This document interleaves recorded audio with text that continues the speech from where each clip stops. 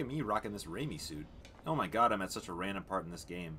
Oh well, you know what? I, pretty much all of us here have probably either seen or heard, like, seen or played this game. So I'm just gonna go through with where we're at. Uh, but but due to recent uh, events as far as leaks, I now have sort of reinvigorated my love for a certain masked webhead. We're gonna rock the the the TASM one suit because I'm gonna just embrace being an Andrew fan. Feel like I can't turn around without seeing his face. He smiles for the cameras, collects his accolades, and keeps his boot heel pressed against my neck. Man, Otto, tell us how you really feel. So you know about the supposedly leaked video? Yes, I know about the supposedly leaked video, and I've been trying to. I've I've, I've, I've been having like an existential crisis because I'm trying to convince myself that it's it's fake, it's a deep fake, and then like someone will be like, "Oh no, here's proof that it's real," and I'm like, "Stop it." I'm like Hawkeye. I'm like, "Don't give me hope."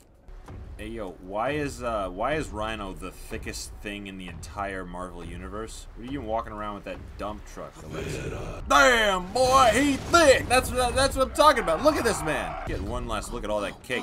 Damn boy, he thick. Pick on someone your own size, Rhino.